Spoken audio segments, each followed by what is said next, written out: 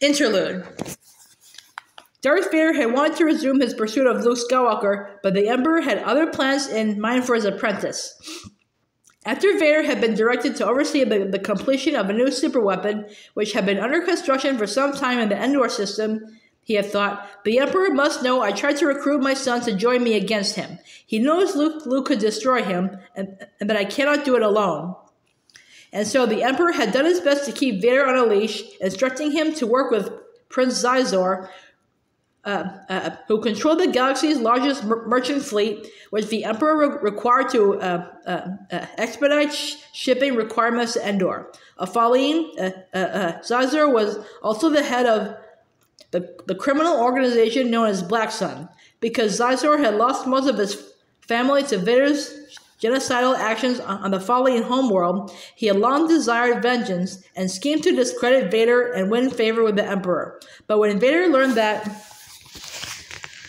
Xizor had, uh, had, discovered his relationship to Luke Skywalker and had attempted to kill Luke, he ended his working arrangement with, with the Falleen most permanently by blasting Xizor and his personal Skyhook, a large repulsor craft, out of Coruscant's up, upper atmosphere.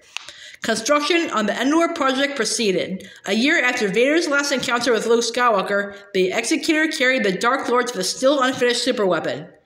Against Vader's objections, the Emperor, following a plan that had been conceived by Xizor, had allowed a computer that contained plans for the Endor project to be transported on a single, unescorted freighter through the Boff system.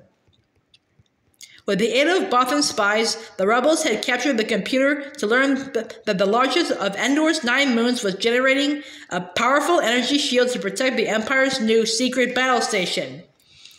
The Emperor was confident that, that the rebels would take the bait and bring their fleet to Endor, but Vader was more interested in whatever future lay beyond that probable skirmish. Although he had proposed to the Emperor that Luke Skywalker could be converted to the dark side and join the Sith Lords, he was well aware of the Sith's, Sith Order's long tradition of limiting their number to two one master, one apprentice. One of us will have to die, Vader mused.